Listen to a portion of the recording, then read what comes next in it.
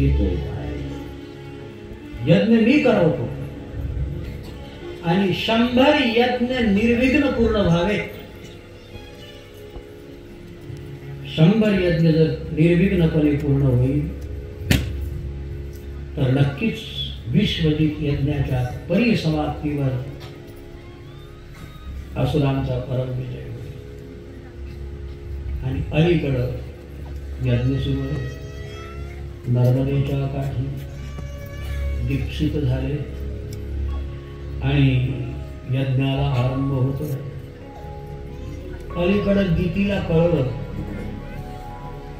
देवलोकांनाही कळलं की हे काहीतरी भानगड होत आहे दितीने पयोव्रत नावाची कोणीतरी एखादा सत्पुरुष माझ्या उदरी असा निघावा की जो माझा देव कार्य करेल. आणि असुरांची पुन्हा पराजय होईल. म्हणून पयोव्रत नावाची विधी कश्यपाने अदितीला दिली आणि अदिती पयोव्रत. ज्यामध्ये दुग्ध ग्रहण करून ती विधी केल्या जाते ती संपन्न होत. आहे आणि अलीकडे नर्मदेच्या तटाकी यज्ञ सुरू आहे. आणि यज्ञ करता करता नव्वद वर पोहोचलं. एक्क्याण्णव ब्याण्णव आता नव्याण्णव पर्यंत पोहोचत आहे. आता अंतिम यज्ञाची वेळा सगळीकडे सदगता संपन्न होत आहे आणि ते भाद्रपद शुक्ल चतुर्दशीला. भगवान श्री वामन आई अदितीचे समक्ष प्रकट झाले. बोली वामन नारायण भगवान. भगवान वामन प्रकट झाले. देवलोकांनी कोणी दंड मेघला कोणी त्यांना कमंडलू दिला कोणी आपापली ऊर्जा त्यांना दिली आणि भगवान नारायण आज बटुक स्वरूपामध्ये कौपिलवंत होऊन भीक मागण्यासाठी बरी ज्या ठिकाणी यज्ञ करीत होते त्या ठिकाणी वामन भगवान पोहोचले. भिक्षा दारावर आवाज आणि कर्णप्रिय कर्ण मधुर वाणी बस आता शंभराव्या यज्ञाला दीक्षित व्हावं आणि बसावं तोच हा आवाज गाणी करणार. भिक्षाम दारावर कुणी भिक्षू आले? भिक्षा घेऊन मणी माणिक्य थाळीमध्ये घेऊन आणि महाराजा बलिदारावर पोहोचत आहे श्रीमन्नारायणाच्या गोड स्वरूपाला बघून छत्र आपला खांद्यावर घेतलेला आहे. एका हातामध्ये कमंडलू आहे आणि मृगचर्म आपला काठेमध्ये आवेष्टित करून कौपिनवंत श्याम वर्णीय गोडस बालक दारावर उभा आहे. छोटस बालक बटूस त्या स्वरूपाला बघून धन्य धन्यता अनुभवायला त्या बालकाकडे जणू बघत राहावं पाहत राहावं असं वाटायला तोच तो बालक म्हणायला लागला महाराज, तुम्हारा वंश दानी है। हमारे वंश में।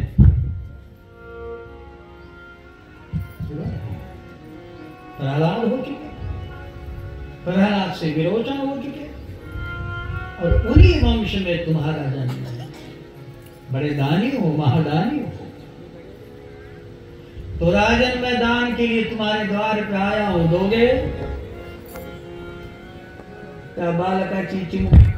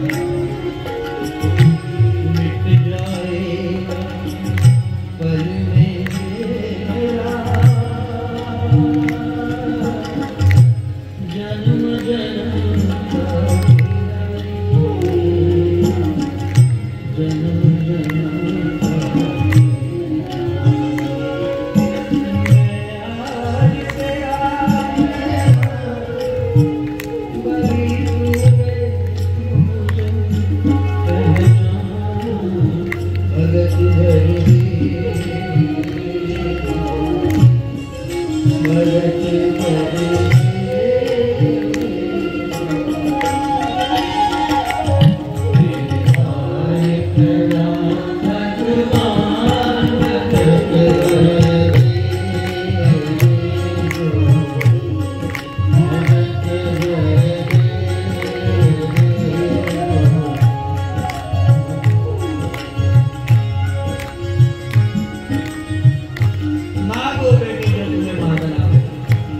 तो बोले, मुझे ज़्यादा नहीं चाहिए। बली म्हणाला, मला तू कमी समजू नकोस. अरे, असं माग की जीवनात मागण्याची कुणाला तुझ्यावर पाळी आहे तो हम संतुष्टि ब्राह्मण है हमें ज़्यादा नहीं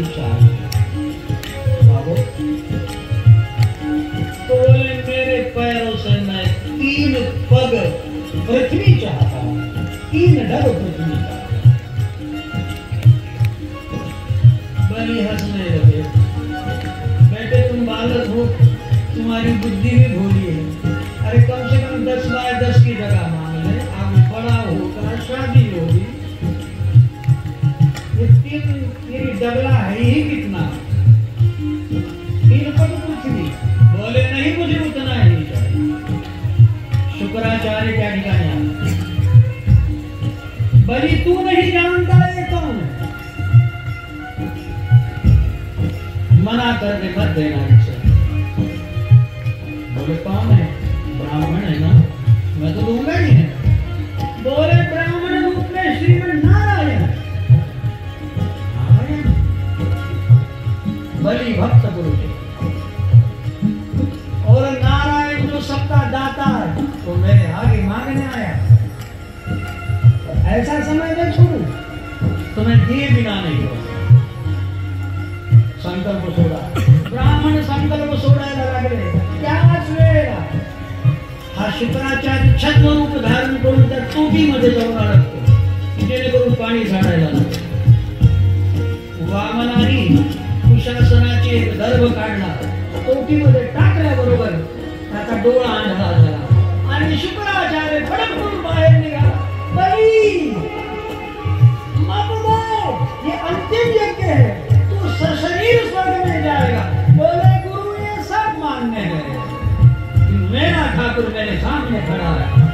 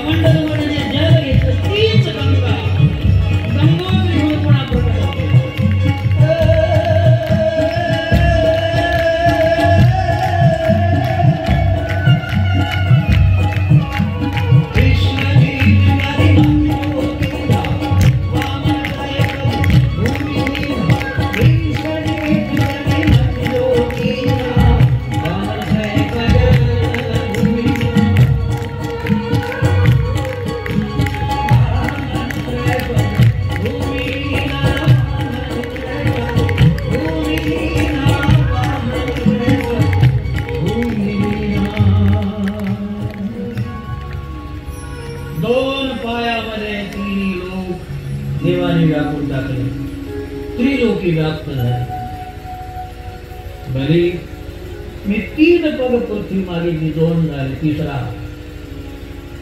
बरी म्हणत आहे देवा देण्याचा अहंकार मी देत आहे हा अहंकार माझ्या डोक्यावर म्हणून कृपा करून तो अहंकार जाण्यासाठी तिसरा पाय माझ्या डोक्यावर ठेवला आणि वामनाने बलीच्या डोक्यावर पाय ठेवला वामन भूतल अतल वितल सुतल रसातल महातल पातालामध्ये सुतम लोकामध्ये जाऊन आणि बलीच्या समर्पणाला बघून भगवान वाली भगवान बाण गडबड होत. बलीला माहिती नाही पण श्रीमन नारायण त्याच्या दारावर चौकीदारीचं काम करायला देव वैकुंठामधून गेले परतले नाही. म्हणून लक्ष्मी देवी नारदाला विचारते नारदा तू बघितलं का यांना? पाहिलं का? कोणाला? नाव कसे सांगले अरे यांना. म्हणजे अरे तुझ्या बापाला. अच्छा नारायणाची गोष्ट करी का मग कुठे येते आई गंमत नाही त्यांना नोकरी लागली. नोकरी? किती लोक बेकारी फिरत आहे? कोणी दिली? मोदीने दिला रोजगार कुठे नोकरी लागली? सुतल लोकांमध्ये बलीची चौकीदारी करण्यासाठी तो. सुतल लोकांमध्ये महालक्ष्मी पोहोचत आहे आणि तोच रक्षाबंधनाचा दिवस. श्रावणी पौर्णिमा. जेव्हा ब्राह्मण रक्षासूत्र किंवा राखी बांधतात ना तेव्हा मंत्र म्हणतात. जो महालक्ष्मीने त्याला राखी बांधली बलीला. मी लक्ष्मी आहे म्हणून नाही सांगितलं. मी बहीण आहे आणि राखी ब्राह्मण लोक मंत्र म्हणतात. हे नबद्धो बलिराज दानवेंद्र महाबल। अजून तेन त्वां प्रतिबध्नामि। रक्षय शलमाचल तेन त्वां प्रतिबध्नामि। बहीण आपल्या भावाला ते स्मरण देते त्या दिवशी। रक्षासूत्र वेगळं हे ब्राह्मण जे नेहमी बांधतात ते वेगळं। पण रक्षाबंधनाच्या दिवशीच ते सूत्र तेव्हा बलीला लक्ष्मीने दोरा बांधला राखी बांधली. आणि भैया म्हणत आहे बली म्हणत आहे बहीण तुझी काय इच्छा आहे मग त्या दिवशी दादानी उदार असलं पाहिजे. बहिणीची जी इच्छा असेल इथं तर फुरसत नाही राखीच्या दिवशी बहिणीच्या घरी जायची. तुम्ही काय म्हणता? दोन दिवस सोडून आहे. रक्षाबंधन भाव मी आमच्याकडे तुम्ही याल ना? आमचं गाव आहे छोटस पटगळा. रक्षाबंधनाचा दिवस. कोणत्याही जातीचा. तुम्हाला कामावर भेटणार का गया बँक कोणत्याही जातीचा. असं नाही की हा की तो की तो. तू बहिणीच्या घरी दिसतो आमच्याकडचा हा मजा रक्षाबंधनाचे तीन चार दिवस निदान कामावर मजूर भेटणार नाही तुम्हाला रक्षाबंधनाच्या दिवशी. काळा बहिणीचा जो संबंध आहे बहीण जावई नवर देव आहेत ते देव. हा देवाचा कमीत कमी त्या दिवशीचा आदर करा. हा, काही बहिणीला काही साडी चोळी नवरदेवाला काहीतरी अनिष्ट शांत होते. बहीण आणि जावयाच्या तृप्तीने अनिष्ट शांती होते. तुम्ही म्हणा जावयाच्या वाया लागल्या नसतं घोर आला आमच्या घरात. जे वाया गेलेले जा वाया असं त्या जावाईच्या वाया लागला असं म्हणत नाही. पण आपल्या बहिणीसाठी हा दिवस आपण पाळायला पाहिजे. आणि लक्ष्मीला भाऊ म्हणत आहे बरी म्हणत आहे भाग बहीण तुला काय पाहिजे? बहिणीला आणखी काय पाहिजे? म्हणे दादा काही नाही मागत एकच मागते धन नको वैभव हा जो द्वारपाल आहे त्याचा काय हिशोब निघत असेल देऊन टाकून त्याला मोकळं करतो बळी येऊन बघत आहे कोण द्वारपाल आहे? तर द्वारपाल तिचे नाव काय भगवान श्रीमन्नारायण भक्तीचा प्रतिपालक. असं वाटलं की बलीसोबत अन्याय झाला पण ना भगवान त्याचे द्वारपाल दाराशी बनून राहतात या प्रकारे आणि अंतत स्कंद अंत काही मत्स्य कथा मनुहि दीन उपदेश श्रुती ऋषी न नमन सदा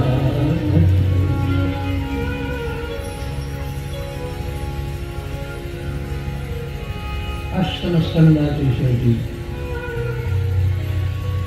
मत्स्यावतरण वैवस्वत म्हणून आमचं प्रकरण देऊन अष्टमस्कंद संपतो નવમ સ્કંદામૃતે મનુ પુત્રન કથિ ચવન ચરિતા